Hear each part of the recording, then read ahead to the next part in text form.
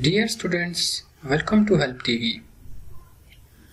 In this lecture, we will discuss MATLAB simulation of connecting the wind farm with AC grid using HVAC transmission. So let's start it. First of all, in this system, we will use wind farm you can search this wind farm as doubly fed induction generator. doubly fed induction generator. It has built-in uh, induction generator. And the inputs of this wind farm are wind speed. How much wind speed? When wind speed increase, speed of the blade increase and power generated from the wind turbine increased. So wind speed is 15 meter per second. The output of the wind turbines are DC voltage, energy, power, real power per unit and reactive power per unit. This is the bus bar that used to basically show the different values of the wind turbine. And the power generated from the wind turbine is 4 megawatt each wind turbine. We we use in this wind farm 25 wind turbines so total power is 25 multiplied by 4 100 megawatt power is generated from this wind farm.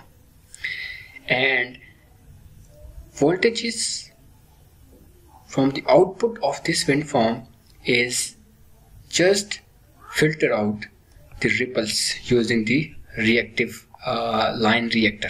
Line reactor is basically used to remove the ripples from the voltages.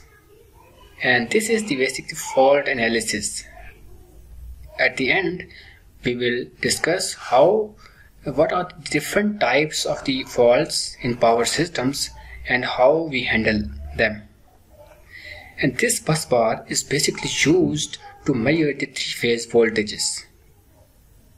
When you double click on this bus bar this block shown the VBC, VA BC means three phase voltages in IABC that are shown here generated voltage. Next transformer is used. This transformer convert the 2500 volt into 132 kV. Why we convert into high voltages? Because of the transmission purpose because low voltage can't be transmitted. If we transmit low voltages, there are many losses in HVAC transmission. That's why we transmit high voltages through transmission lines. And this is basically another fault, uh, fault analysis, three-phase faults or phase-to-phase -phase faults. We can analyze using this three-phase faults.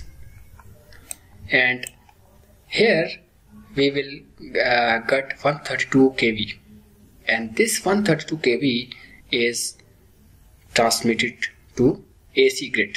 AC grid is basically 9 bus power system that's shown here.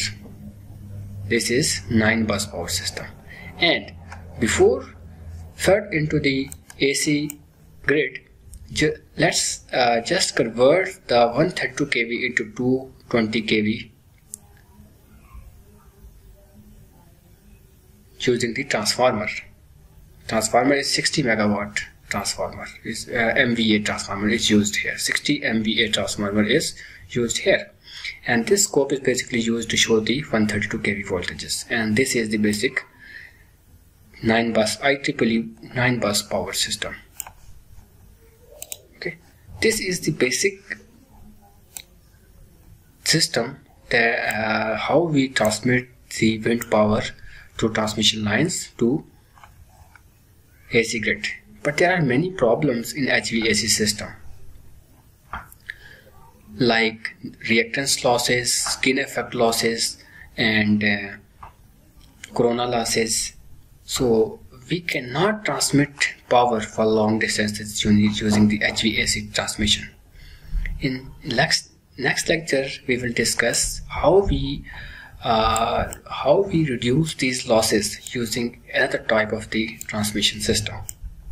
And this is basically scope that uh, used to show different parameters of this system like generation voltages is shown here reactive and active power of the uh, wind farm is shown here. We can, you can show uh, double click on this and uh, you can show the um, the uh, real and reactive power like this. And this is the generation voltages. Double click on this uh, scope. Just this generation voltages like uh, about 2500 volts. And uh, transformer voltages is shown here. Like this is the transformer voltages. Double click on this scope. Then these are the 132 kV transformer voltages shown here. And uh, fault double click on the fault. You can analyze different faults like uh, phase to phase fault phase to ground fault and three phase faults. You can analyze them using the because there are many faults in the transmission systems. So but there are many disadvantages of the HVAC transmission like there are many losses uh, in uh, in HVAC transmission and stability uh, stability control is not possible. And uh, skin effect and many other losses makes this system inefficient for long transmission for long power transmission.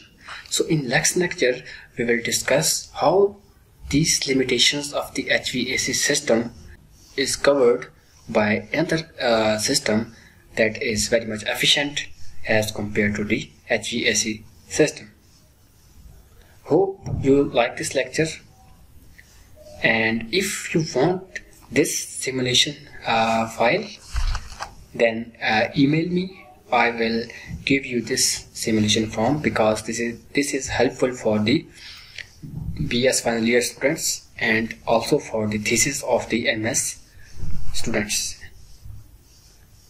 so if you like this lecture then subscribe our channel share this video and comment us if you have any question.